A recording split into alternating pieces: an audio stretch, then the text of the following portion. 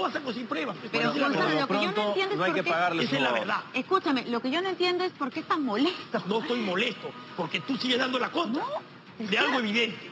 Gonzalo, estoy dando información. No, no, Verónica, los abogados dijeron que la nutricionista era responsable. Es Esa es la verdad de las cosas. Y No, tenemos no que tener claro sirvió. cuál ha sido la defensa.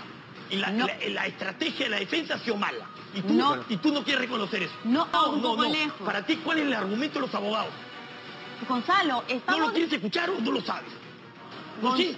Gonzalo, El argumento de los diciendo- abogados es que la nutricionista es la culpable. Yo justo estaba en el bloque deportivo. A las 6 de la mañana salió. No, yo estaba a 6 y 20, 6 y cuarto. Hoy acá de salir a un año. Obviamente, yo tenía que expresar lo que yo en ese momento consideraba un comentario, una reflexión, lo que yo pensaba. Yo no voy a salir a decir, bueno, un año, este, injusto, no, que... Mano, la estrategia sido mala Exitosa. han habido contradicciones. No me parece que haya habido solidez en que digan esto. Ojalá que esté dentro y yo confío en el TAS. ¿Ok? Que me peleé con Verónica, que Verónica, no, Gonzalo, pero que no sé cuánto, que esto ha sido en Argentina y no quieren dar información. No, esto no. En Argentina no ha sido. Porque el abogado ya salió a decir de que esto ha sido en Perú. O sea, Argentina, chao. Porque cuando habla un abogado, es como si estuvieses hablando tú. Es el que te representa. O sea, es el, el vocero especializado de ti. Entonces, yo estaba convencido de que la estrategia mala, que tiene que cambiar de abogados. Tanto así que Pablo lo cambió. La nutricionista. No, que la nutricionista. Le tiraron el, bombo a la nutricionista. Me imagino que esa chica debe estar destruida. Destruida. Y creo que, que, ¿cómo se llama? Ella se sentía que se tenía que, yo lo, eso es algo súper directo, que se tenía que inmolar. Que inmolar su carrera, Sacrificarse por el otro. sacrificar lo que has estudiado, ¿para qué? Para que se salve. ¡Que demuestre! No que, que primero que te asegura, después que te la nutricionista. O sea, aquí no estaba todo bien. O sea, a mí me da la, la sensación de que no estaba coordinado, de que no era una estrategia coherente, de que no habían argumentos sólidos. Creo que tú no se da cuenta de eso, pero nadie se atrevía a decirlo. Porque te, te peleas con Pablo Guerrero, pues hermano, y con todo el país. ¿O no? O tenemos que ir más allá y ser más valientes y a la miércoles sales y lo dices. ¿Qué importa que después te levanten del aire? Porque me levantaron del aire. No me dejaron hacer el bloque a las 8 de la mañana. Lo llamaron de urgencia a Eric Osores. A mí no me dejaron. Yo pedí explicaciones a la persona que se encargaba de, de prensa. Libertad de expresión. Estás hablando de estupideces, estás drogado, estás borracho, ya pues, te puedes imaginar por hablar contra, por decir mi verdad. Yo me la quedé callado. Quizás no debía hacerlo. Quizás no debía hacerlo. Pero me da cuenta que yo no podía tirar más leña en este tema y, y de alguna manera, qué sé yo, este, hacerme. Consideré que ya. Me, dolió en el alma. Le fui a pedir conversamos. Y finalmente yo creo que me pasó factura. Yo creo que me pasaron factura. Porque yo no termino renovando mi contrato.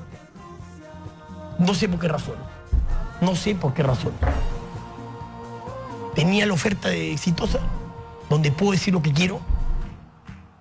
Y la gente exitosa, obviamente que ya me había hecho una oferta. Yo había decidido además que era un momento para tomar una decisión, porque se la había prometido a, a Higino hace como dos o tres años. Y, y preferí, ¿sabes qué? Dejarlo ahí. Porque iba a salir, no sé, a, a mí no me gusta el figuretismo, de verdad. Pero sí me pareció una injusticia.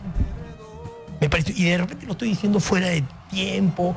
Yo no quiero que haya una vendetta contra Clarelmiro Ospina, Libertad de expresión. ¿no? Pero sí vulneró mi libertad de expresión. De repente Exitosa. debí, porque tú le haces eso a un periodista Hitler, no sé, a otro. Sale a denunciarlo en tres minutos. Y yo creo que tengo una tribuna para denunciarlo, además. Hay muchos que han renunciado en vivo diciendo ese tipo de mensajes. Entonces yo dije, de repente estoy mal. Volví a poner repetición, volví a poner la discusión. Sí, estaba absolutamente enfurecido.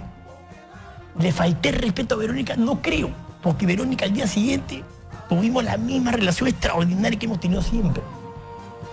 Y con Federico también, jamás he tenido. Y, y de alguna manera era ir en contra de lo que ellos pensaban. Federico dijo, yo creo que ni Paolo Guerrero sabe. Yo dije, Federico, para mí sí sabe. Para mí sí sabe. Para ti no, para mí sí.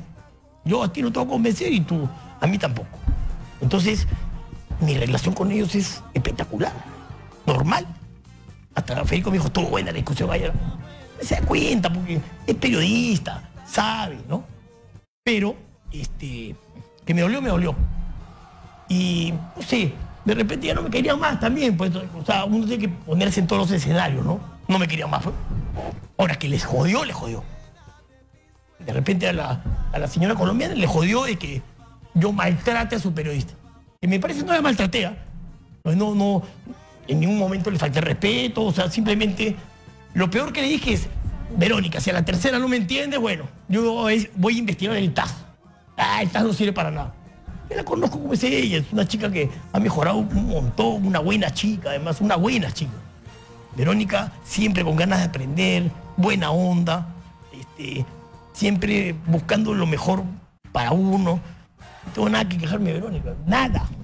Pero yo sí consideré, de alguna manera, que se había vulnerado ¿no? el derecho de, de- de- de decir lo que piensas.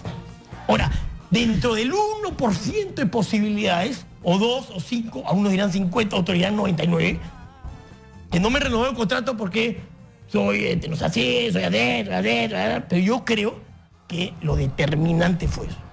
Incluso ya han, han colgado algo en YouTube o algo así. Bueno, ese tema yo no quiero que... Ahí quedó y si en el momento no lo hice, pero lo digo para demostrar de que hasta mi viejo, que es la persona más cercana a mí, pero lejos, he salido en moto con él de los 8 años hasta los 45, todos los sábados y domingos. O sea, creo que, que había una sensación obligatoria de no tocar a Pablo Guerrero ni con pétalo. Y eso yo no lo consideraba justo. No lo consideraba justo. Porque la justicia tiene que ser igual para todos. ¿No? Y si realmente la carrera de Derecho me sirvió, fue para eso. Justicia para todos. Justicia para todos. No importa sea tu hermano, tu viejo, Paolo, este, este. Justicia para todos. Y puede ser hasta tu enemigo y lo odias, pero dale justicia también. Suena utópico también. Suena utópico. Esa es la realidad. Que esa declaración, ese principio, en determinado momento choca con, con- con lo que, entre comillas, políticamente correcto hay que hacer o no. Que esta sociedad no es muy justa. Y, y cuando La comencé a no es decir muy- esto, No aplica. en- ya lo, yo lo venía diciendo ya acá en la radio. Y todos me han escuchado. Y todos me han odiado y me siguen odiando. No me importa. Yo no hago periodismo para que estén contentos conmigo o que estén este, molestos o que me odien o que me quieran. No, eso está al margen. Yo digo lo que pienso, porque si no digo lo que pienso me siento traicionado conmigo. En la noche eres un rosquete que no te atreves a decir lo que piensas. Y esa sensación yo no me la como. Porque me siento...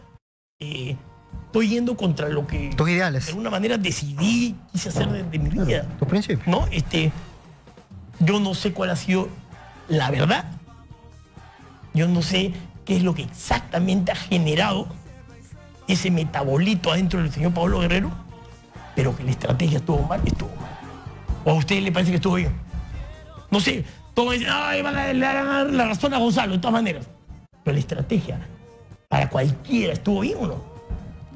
Creo que ni para Pablo Guerrero estuvo bien. Es que si aparecen varios cables sueltos y no termina de conformarse una idea sólida, te da a pensar de alguna u otra manera que acá algo Oye, falta o el hilo conector. explicaciones a tu hijo y comienza a explicarte lo que pasó, tú te das cuenta en un 2 por 3 si te está mintiendo o no.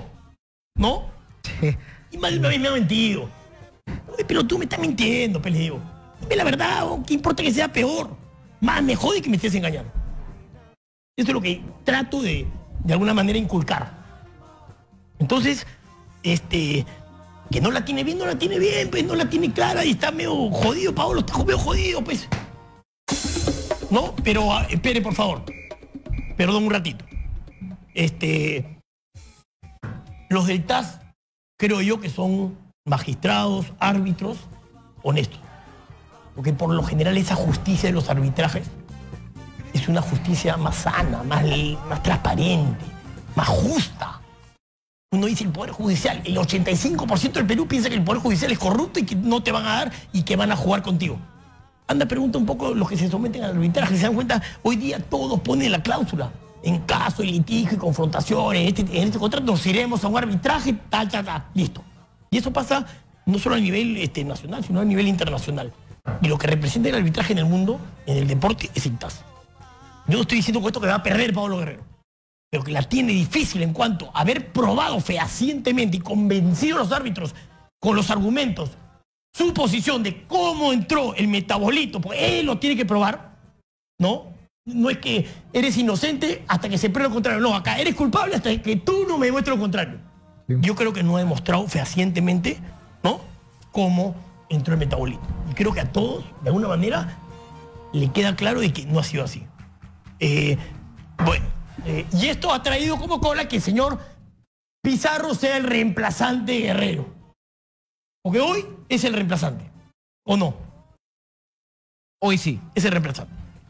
Hoy tiene Hoy la sí. chance. Y dentro del cuerpo técnico, yo no sé exactamente, pero siempre ha tenido buenas palabras, ¿no?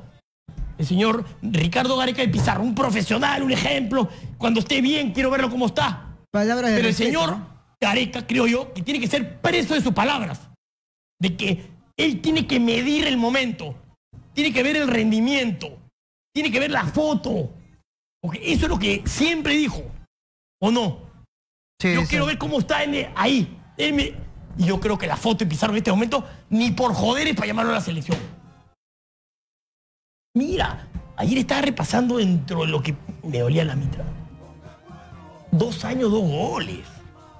Dos años, dos goles. Ahora, también hay que decir algo no sé, claro, ¿no? Mira, e- ver, ese, no, para- ese para- dato ya Sí. ¿sabes qué? es irrefutable, Jan. Entonces no llevarías... Más allá de que te cae, no te cae. Eh, no- dos años, dos goles. Yo no lo llevaría Pizarro, está bien. Ya, ok, vas a dar todos los argumentos. No, No, vamos a pero- centrar con esto. Si tú le preguntas a Jan Rodríguez, ¿qué tal es el momento de Pizarro? Porque Gareca quiere saber el momento para ver si lo llama o no. Para mí es malo. ¿Qué tal es el momento? Para mí jugó, pero no ¿Merece marcó. ir a la selección o no? Para mí no, para mí no. No, No, No. pero... no. No. Pero su trayectoria, su No, jerarquía. tampoco. No, Es que eso también no lo pasa por llevaría, pero ahora- diplomacia. pero- Eso nunca lo dijo Areca. De que por este, trayectoria y por jerarquía. ¿Ok? Me falta un minuto. Eh, y yo, por ejemplo, si soy Juan Carlos Oblita y pongo mi, mi argumento y no lo toman en cuenta, ¿qué quiere decir? ¿Qué quiere decir? ¿De que estás pintado? ¿O no? De que falta autoridad. de que no tengo la autoridad que pensé que tenía. No sé, me pongo en el lugar de Oblita. ¿no? ¿Qué pasa si va Pizarro pasa es contra la opinión de Oblita porque de repente piensa como yo? De que dos goles en dos años es... y que de alguna manera no está. Es que Te lo- sabe lo que puede generar la Te convocatoria. lo Pizarro. terminan imponiendo. Yo renuncio. Yo renuncio. Te juro, o me darían unas ganas de renunciar y no lo haría por el Perú, ¿entiendes? O sea, pero, ¿qué quiere decir? De que tu opinión No tiene ni voz ni te voto. das cuenta que van a tomar una decisión totalmente equivocada, que va contra los intereses de- del Perú. Y que a pesar de, de que tú te manifiestas, a pesar de una jerarquía que tienes, te dan la espalda. Él ha vivido una situación muy parecida. Él la vivió. Él fue testigo del desastre que ocurrió en 1982. Porque levante la mano, no va a cortar. ¿ah? Ya, ok, está bien, cinco minutos. A veces se pasa ocho minutos, señor Lucas, y no le dicen nada. ¿Ok? Bueno, ya. Este. ¿Tú qué harías si fueras Oblita? Y te, no, va a estar este. Si tenés, si Claro, tenés y la es con- Oblita, un tipo Y, yo- ganador y- y obla- obviamente que carne el que más una cercanía muy tiene con similar. Gareca es Oblitas. Sí, él lo trae. Él se sienta con Gareca y le habla de fútbol, pero así. Joda, Ricardo, este no va a tener problemas. Porque va a tener problemas. Lo primero que van a hacer es comenzar a entrevistar a toda la gente en la calle. Seguro que recortarán, ¿no? Y pondrán de repente a los que les conviene seis contra no sé cuánto. Sí, sí, Pero sí. anda, pregúntale a 10 así, al azar. No si- ocho minutos se pasó el otro día, yo me voy a pasar siete. ¿Ok? Ya estoy cerrando. Estoy, estoy cerrando. Ok. Yo ahorita me siento mortificado por decirlo menos. Yo sé que ese Oblita cuando se molesta se pone bravo. De acá me parece que le están imponiendo al señor este, Oblitas y de alguna manera Gareca, bueno, hay que llegar a una solución, va a terminar cediendo. Tiene carácter fuerte, Oblitas, ¿ah? Ojalá que esto no, Lo que pasa Pero es que ya esto vivió- puede es que reventar. ya vivió esta Ojalá que Guerrero saque esto a favor. Ya ojalá. vivió esta experiencia. Carajo. Bueno, ahí Ahora, cierro. todo se acaba si es que a Guerrero el TAS le da la buena noticia. Ah, lógico. Se acabó. Pero hoy, hoy, la mano no viene bien, pero hoy, en estos momentos, la situación es, es un partido No, bueno, muy queda esperar. de voltear. Muy difícil. Ojalá que no Y lo Cabete, ahora sí te jugar. Ojalá Vamos con que no.